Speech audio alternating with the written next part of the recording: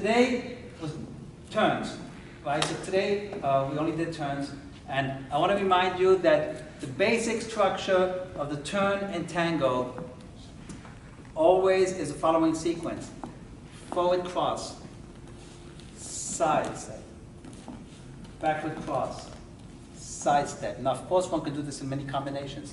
Now, I did it at exactly we both did a forward cross at the same time. But she can do it without me doing anything. Or she can do a forward cross when I do a backward cross. Or she can do a forward cross when I do a side step.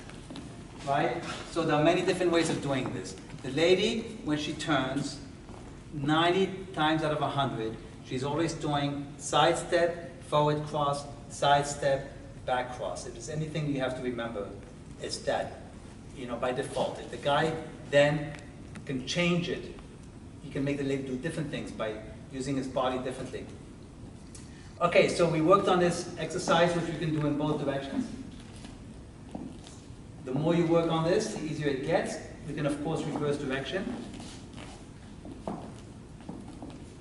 Right? Then we actually work on, just introduce a notion that we can actually change direction at any time.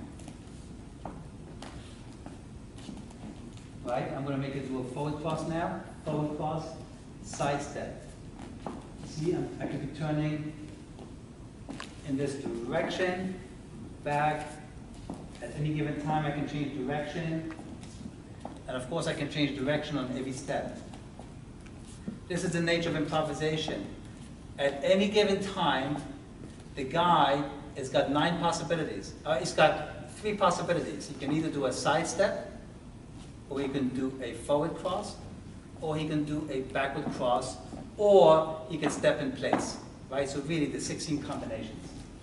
Right? So for instance, here she's doing the turn, I'm stepping in place. Now I'm deciding to do turn in my own way. Okay, so I've got four possibilities. The lady theoretically has got four possibilities on every step, which means four times four, 16. On every step, there are 16 possibilities.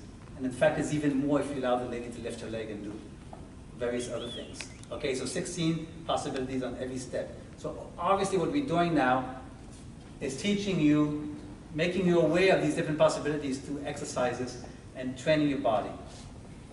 Okay, so I want to point out that in tango, you're typically walking counterclockwise and there might be somebody in front of you.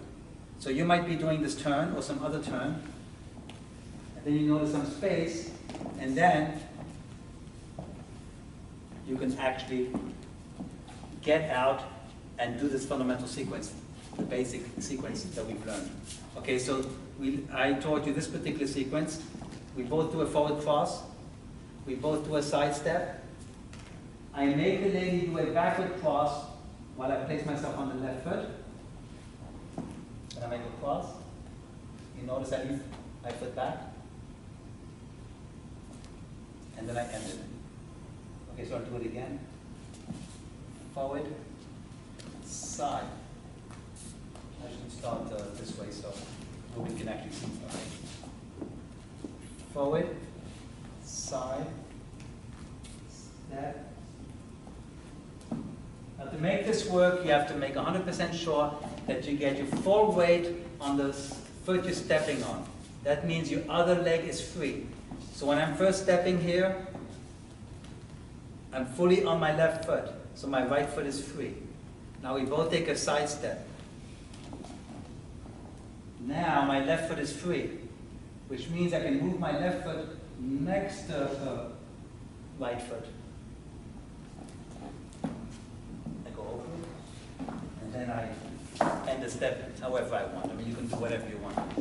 Right? There are a million ways of doing this turn and exiting back into the fundamental sequence.